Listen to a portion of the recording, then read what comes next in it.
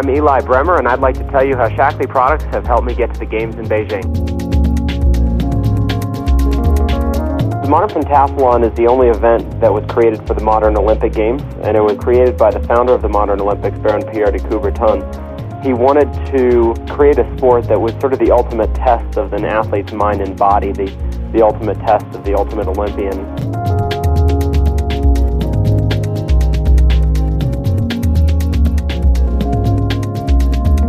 So he combined five sports that didn't really seem to go well together to test the all-around ability of an athlete.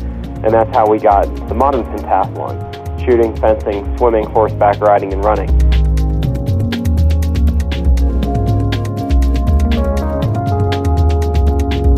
It's very difficult to train and compete in pentathlon.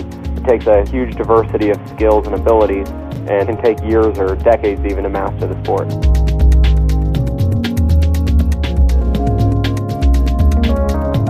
My favorite Shaklee product is Shaklee's Performance. The sports drink, and I just love using it. Each day I probably drink somewhere between a half a gallon and a gallon of Performance. A typical hard week for me will include about 60 miles of running and 25 miles of swimming.